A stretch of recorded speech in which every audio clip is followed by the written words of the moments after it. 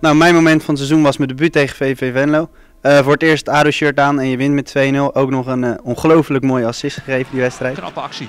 Een knappe actie. Zelfs Schoppel gaat hij zijn uh, debuut ook nog bekronen met een goal. Nee, dat doet Johnson voor hem. Die tikt ADO naar 2-0. Het is het moment van de twee invallers. En dat betekent meteen de winst voor de ploeg van Groenendijk in de koel in Venlo in de 94ste minuut waar VVV... Daarna, uh, daarnaast ook nog uh, dat ik ben verkozen tot uh, talent van het seizoen. Dat is ook een erg mooi moment, dus ja, tot volgend jaar.